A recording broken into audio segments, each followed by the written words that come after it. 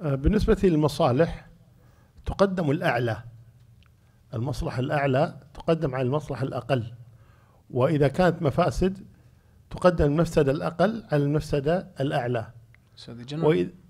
the general principle is that in terms of benefits, the greater benefit is always given priority. And with regards to harms,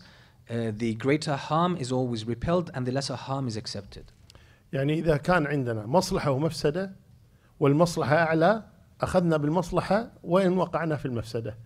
وإن كانت المفسدة أعلى والمصلحة أقل فإننا ندفع المفسدة ولو فرطنا في المصلحة So when we have a benefit and a harm, if the benefit is greater than the harm, we go for the benefit even if we fall in the harm. But if the harm is greater, then we repel the harm even if we lose the benefit. وإذا تساوت المصلحة مع المفسدة قدمنا دفع المفسدة على جلب المصلحة And if the benefit is equal to the harm, then we give precedence to repelling the harm over uh, gaining that benefit. ويقول أهل العلم ليس الفقيه الذي يعرف المصلحة من المفسدة ولكن الفقيه الذي يعرف أعلى المصلحتين وأدنى المفسدتين And the scholars say, not, is not a faqih someone who knows what is beneficial and what's harmful, but the real faqih is someone who knows which is the greatest or the greater of the benefits and which is the greatest of the harms. ولا يفرقون بين الخاصة والعامة ولكن في الأصل أن المصلحة العامة ينتفع بها كثير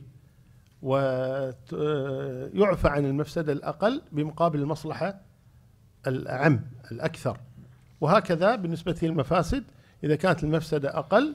فتقدم على المفسدة الأعظم And the Sheikh says, with regards to uh, private benefit, individual benefit, with regards to public, more general benefit,